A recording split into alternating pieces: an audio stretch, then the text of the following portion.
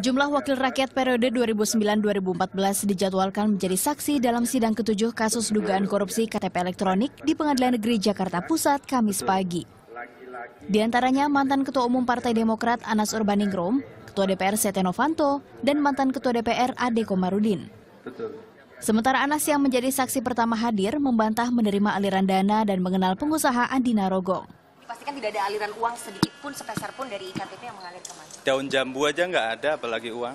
Kalau sama Andi Narogong pernah ke lantai 9 nggak mas? Kalau itu kan mudah dicek kan, lewat CCTV ada atau enggak kan gitu. Tapi kenal. Eh? Saya ke- kenal as punya namanya teman Andi juga, tapi bukan Andi Narogong. Mudah-mudahan hari ini pertama kali saya bisa ketemu. Kalau kalau ada ya, atau suatu hari. sempat bertemu dengan Andi juga di Pacific Place bersama dengan Setia Ya, juga. kata itu toh, kata makhluk itu toh. Markus Nari, mantan anggota Komisi 2 menjadi saksi kedua yang hadir. Ia pun membantah menerima aliran dana dari proyek tersebut. Nanti kita lihat di per- persidangannya. Tapi berarti tidak ada uang yang mengalir ya Pak? Pernah ada pertemuan itu nggak Pak? Tapi Nggak ada, Pertemuan nggak ada juga. Nggak ada, nggak ada. Waktu di pembahasan Komisi 2, apakah Saya masuk DC eh, Januari 2000? 2012. Ini 2011 dibicarakan gimana bisa? Setia Novanto yang saat itu menjabat ketua fraksi Partai Golkar DPR RI pun hadir, namun ia enggan berkomentar.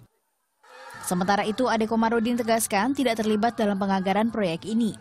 tidak pernah meminta apa pun dari Pak Irman.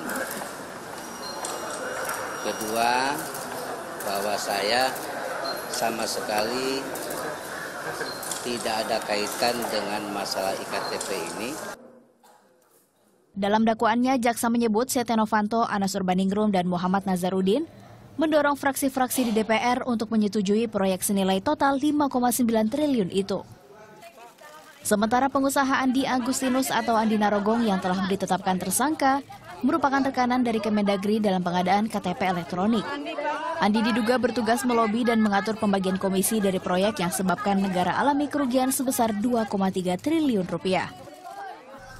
Mevri Syari, Fuad Kurniawan melaporkan untuk NET.